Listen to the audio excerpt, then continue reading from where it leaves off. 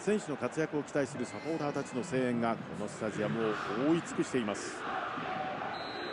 天候については現在こちら現地は晴れています。今日は好条件でのデーゲームとなります。このゲームの解説はおなじみ元日本代表ミッドフィルダー北澤剛さんです。どうぞよろしくお願いいたします。よろしくお願いします。さあご覧のようにゲームはすでに始まっておりますさあ北澤さん本日の注目選手を1人挙げるとすれば誰でしょう？ボノッチですね。体格を生かした力強い守備には注目ですよね。それとロングパスの技術が高くて非常に正確ですよね。彼のロングフィードから攻撃をスタートできるので攻守両面での活躍に期待したいですよね。はい。やはり彼がいるだけでも絶対的な安心感があるんでしょうね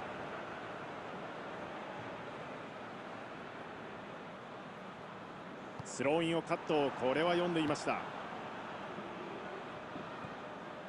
チャルハノール。モナベントゥーラ。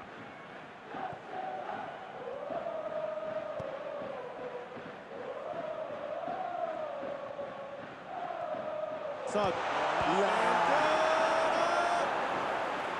すごい反応を見せました。いや今のは決められてもおかしくないですよね。ファインセーブですね。好セーブを見せました。さあファーストハーフ最初のコーナーキックになります。どうだ？コーナーキックが続きます。コーナーキック2本目。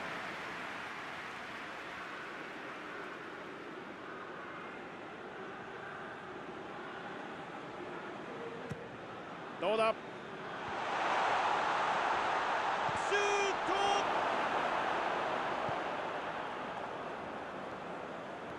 ト中島。ボールを下げてリズムを作るか。ビリア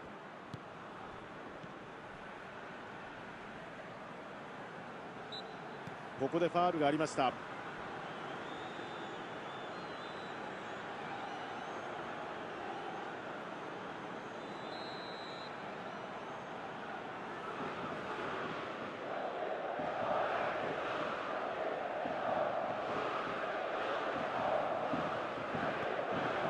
ビリアビリアから。ミドル。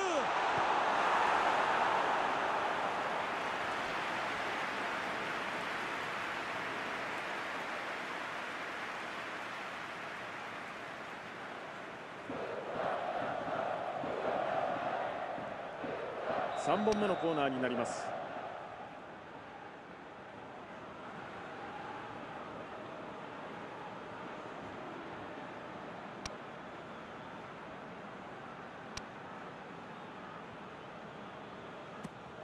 どうだ？シュート！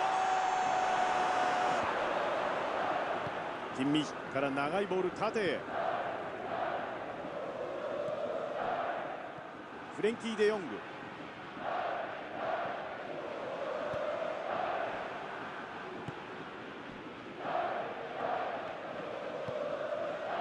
ビリア。ここまでご覧になっていかがですか北澤さん？アウェー側としては。内容的には勝ってる感じなんですけどもね。点が取れないんですよね。まあ自分たちのいい時間帯でやっぱ点が欲しいですよね。このボールには合いません。デヨングから縦へのボール。これをカットします。チャレンジはしません。後ろに流す。ロマニョーリ。リカルド・ロドリゲス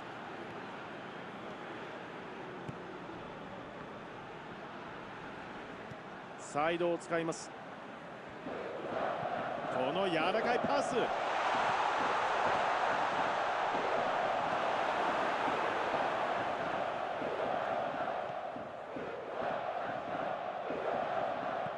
さあ左サイドへ。さあボールはリカルド・ロドリゲスへ。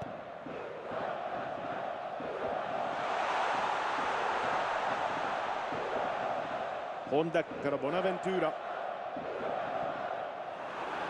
ピックアップしたいとこだったんですけどもね。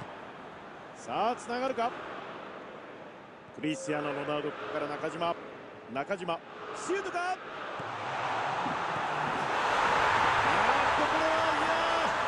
ここでこれは悔やまれます。ディフェンス陣献上してしまいました。いやこれはちょっと予想外の展開ですよね。北澤さん今のプレーですがいかがでしょう？残念なプレーになってしまいましたね。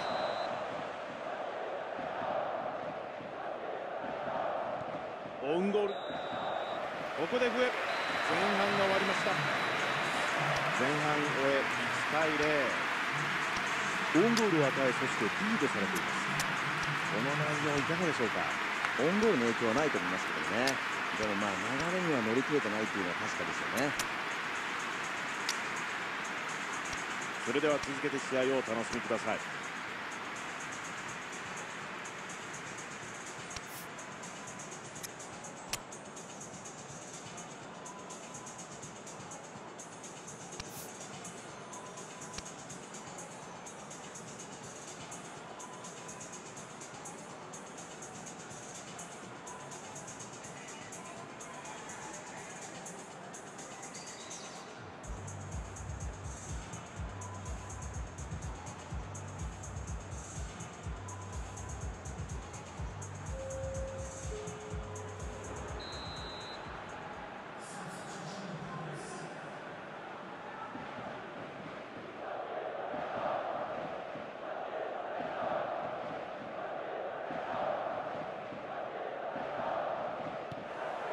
さあ後半スタートです。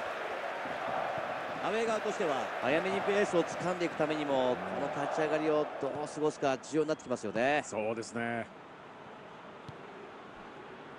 ダビデ・カラブリア大きく縦へ右サイド上がる。自分で行く。走りまくっています。つなぐレビッチ！防いだいやーファインセーブでしたね。いやこれぞすごしんですよね。素晴らしい反応ですね。この場面でスーパーセーブです。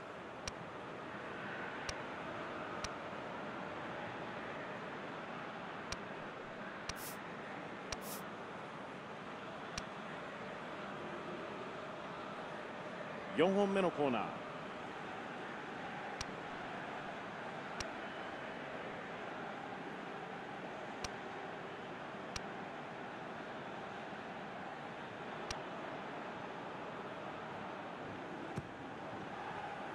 シュート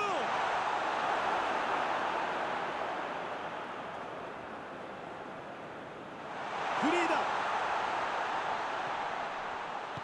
あそこまでゴール前に人が集まってしまうとシュートコースがなくなってしまいますよね。裏へのスルーパス。うーんこれはつながりませんでした。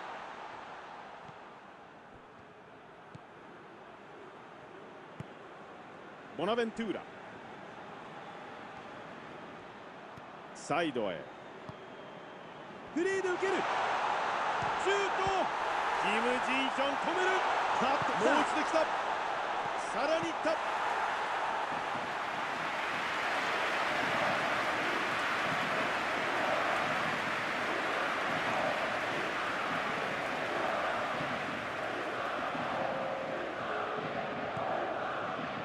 ここは通しません攻めの姿勢です。シュート。うわドリブルで切り込んでいきシュートを打ったんですがこれは決まりませんでした。非常にこうアングルを見つけながらね。ボールを持ち直してシュートコース見つけてましたよね。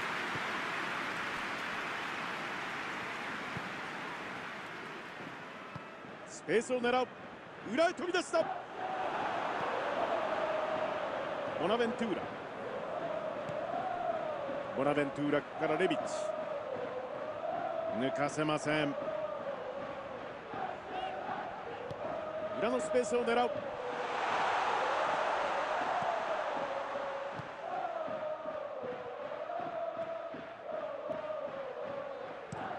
奥見えてますね。カウンターを仕掛けます。裏を狙う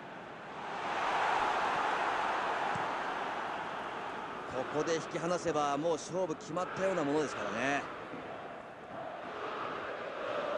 抜けてくる。プレッシャー。失点してしまうと非常に厳しくなりますからね。ディフェンス集中してますよね。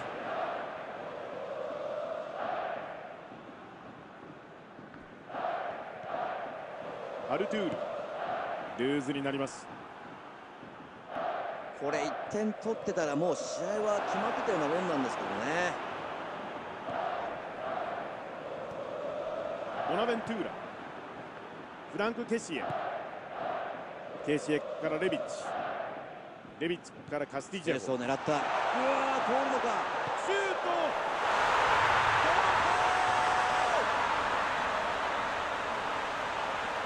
この時間での同点に追いつきました今のゴールなんですが中盤で奪ってという攻撃ですよね。いかがでしたか？いやチーム全体で非常にうまく攻めれましたよね。奪ってからフィニッシュまでの流れ。手本になるような見事なカウンターアタックですよね。うんそしてここで試合終了。勝敗決することはできませんでした。1対1同点で試合を終えました。北澤さん本日のゲーム